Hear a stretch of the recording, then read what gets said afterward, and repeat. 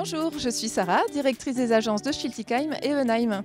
Au Crédit Agricole, nous avons à cœur de nous engager en faveur de l'inclusion. Notre caisse régionale est partenaire du Foot de Schiltigheim depuis de longues années, un sport qui adapte le football pour les personnes déficientes visuelles. Aujourd'hui, je vous emmène au Stade de l'Art à Schiltigheim pour faire la rencontre de Laurie.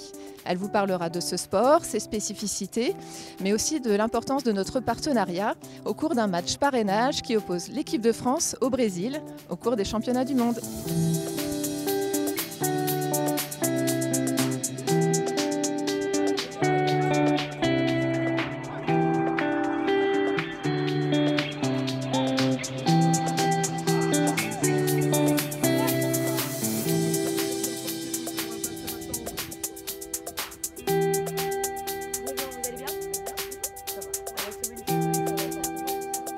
Le Foot, c'est du football pour personnes déficientes visuelles.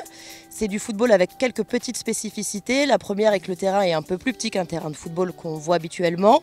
Le ballon est sonore, les joueurs jouent avec les barrières et les joueurs sont guidés par des guides. Le Foot au Sporting Club de Schiltigheim a été créé il y a maintenant plus de 10 ans. Elle compte aujourd'hui 40 licenciés. On a une section B1, c'est une section pour personnes déficientes visuelles. Une section B2, B3, c'est pour des personnes malvoyantes. Une académie pour des enfants. Et la seule et unique équipe féminine de France.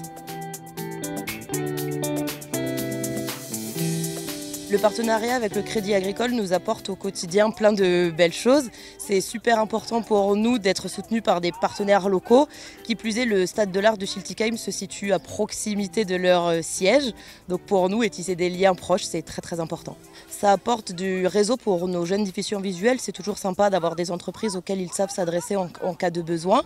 Le petit plus que ça apporte au club, c'est de la visibilité parce qu'avec une entreprise comme celle-ci, le nombre de salariés qui entendent parler du Foot de près ou de loin reste énorme. Et c'est ce qui, pour moi, aujourd'hui, cassera les barrières du handicap. Et c'est comme ça que demain, il n'y aura plus de différence entre une personne en situation de handicap et une personne valide.